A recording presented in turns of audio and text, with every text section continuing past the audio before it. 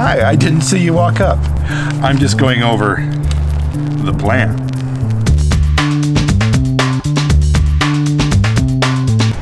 Hi, I'm Steve, I'm Haley. and we are turned right here.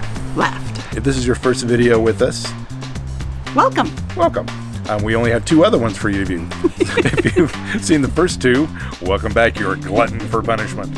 Um, Explore the vast archives. oh, yes, it's whole library. um, today we're going to talk about uh, this Airstream and what it's like inside and what our plans are for it. Right? The plan. The plan. Dun, dun, dun. Um, it was put together by a guy named Wally Byam, who was the founder of Airstream and pretty much the the main man. It's the granddaddy of all Airstreams. That's true. Wally Byam Caravan Club International. There you go. Yeah, that's a mouthful. If you look up on top of the Airstream, there's a sticker right up there. That's an old Wally Byam Caravan Club sticker, and can't really tell from this angle, but this used to have the big red numbers on it. Okay, so we're going to meet Steve, Steve in his planning and design studio. It's lavish, lavish studio. I have this old uh, flash from Airstream that tells us all about the Safari. Talks about the distinguishing feature of the Safari is a giant panorama window, 15 square feet of light and air through which you can see the world go by. This is the original floor plan for the Safari trailer. Here's the front of the trailer with the hitch. Here's our, our door, where when you come into the trailer, you immediately see right in front the dinette set. In the front left corner is the kitchen with the refrigerator, under counter refrigerator, the sink, and the range. In the front right corner is the bathroom. It looks small on the drawing, and trust me, it is very small in real life. Um, so the trailer is actually designed to be open and very airy all the way through to the back window. So you can see when you're driving in, in your tow vehicle all the way through to the back. We have a large 10 foot bank of windows on the street side. In the back of the trailer, we have two twin beds with a little cabinet in between the beds for storage and a nightstand.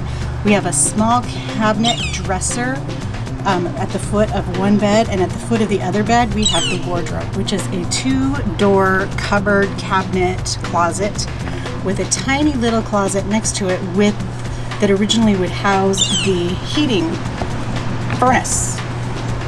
That is pretty much it. You can see now from the drawings, we have like these little cutaway drawings. You can kind of get an idea of what the trailer would look like in real life.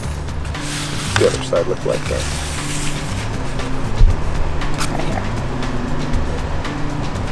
Cool. Okay. So that is what the trailer looked like when it was brand new back in 1956. But Well, when we bought the trailer, we were originally planning to restore the trailer to its original floor plan, original usage, original fixtures. We were what you would call purists. And in the sense of being purists, we wanted everything to be exactly the way it was in 1956. Now, since then, we have evolved in our design ideas, our assessment of how we live our everyday life, and usability as we get older is kind of a key factor. and it's different than what it was way back then. Yes. So I think some of the major things that we're changing is that we're gonna 99 the dinette. 86. Oh, 86. 99, that was like on Get Smart. Well, okay, that's even better. This is 99 calling 86. We're gonna 86 the dinette. So um, we are going to get rid of the dinette, but we're going to put a, a convertible sofa there. So we find that we're people who don't really sit at the kitchen table much. We don't. Um, didn't last long. It's heavy, isn't it? Yeah, it totally is. Can't All be like, I don't know. No, I'll- this is fine. Um, so we're going to use the couch there because we like to come in and plop down on the couch and relax. We like to. That's just what we like to do. Besides, it'll offset the idea of twin beds in the back. So the couch is going away. Also, we're gonna make a small change in the kitchen, right? And it's a front kitchen, which is an unusual floor plan for for Airstream. Boy, my arm's getting tired. Does this thing float? I think it might. Ooh, Hey, did you cool. It used to be a little higher. A little higher, do- Magic. higher. Yeah, about there. Cool. Okay. Oh, why didn't I think of that before? It's good. Put the float mode on. Yeah, float mode. So we're going to talk about the under counter refrigerator. So if you've ever used like a dorm fridge, those under counter refrigerators, you know they're they're pretty small. They don't hold much, right? Right. No, they're low to the ground. They hold maybe a half a case of water. And if we are going to be spending any kind of time in this Airstream, uh, we need to have a little more space to put our food supplies. Right. Well, for the size of trailer that Yeah. our Safari is, we have a huge closet. Yeah, it's a two door closet. Yeah, it's probably I don't know the dimensions. It's probably three or four feet wide. It's it's quite a lot. We don't need that much hanging space for our clothes. So let's chop that in half, and we'll put a tall refrigerator there. And where the old refrigerator was, after we 99 it, after we 86 it, um, after we get rid of the old refrigerator, But no, um, we're going to put drawers there, or maybe a cabinet. I'm not sure, but it will become storage, which is awesome. More usable storage, I think, than what the other space would have been. And then on half of the closet space, it's going to become the space for a tall refrigerator. we're really excited. I think that's it. You didn't talk about the oven or anything in the kitchen. We should have talked about that when we were in the kitchen. So, okay. Back in the kitchen, at the very front of the trailer, We're going to 99 the old oven. 86.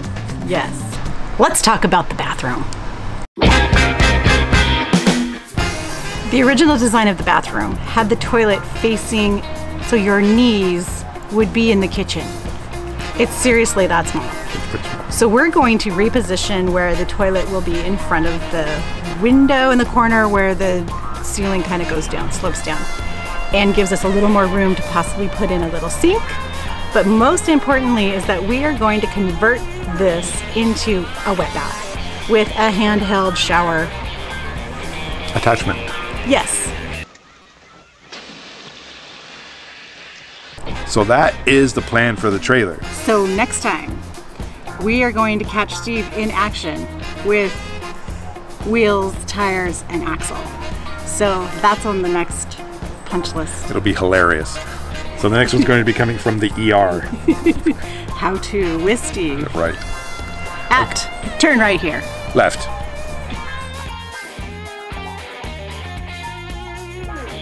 Because it's it's big enough to do what you do in the bathroom. But I knew that would oh get you. God. It's big enough to do what you do in the bathroom. Family photo. Oh, hmm. That's a keeper. Yes. Okay, my arm's killing me. Ugh. Flow mode.